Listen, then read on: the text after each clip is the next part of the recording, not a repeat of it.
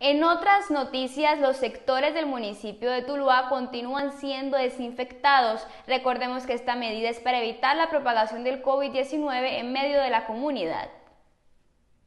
De acuerdo a la instrucción que nos ha dado nuestro alcalde, el doctor John Jairo Gómez Aguirre, desde el gobierno de la gente para la gente seguimos trabajando por la salud de todos los dueños, por la protección de todos ustedes.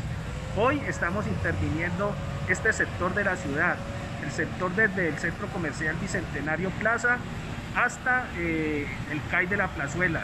Un sector eminentemente comercial, un sector que tiene mucho flujo de personas y por eso hoy estamos haciendo esta intervención aquí, cuidando su salud, protegiendo a, todos los tubeños. Por eso el mensaje de nuestro alcalde es quédate en casa.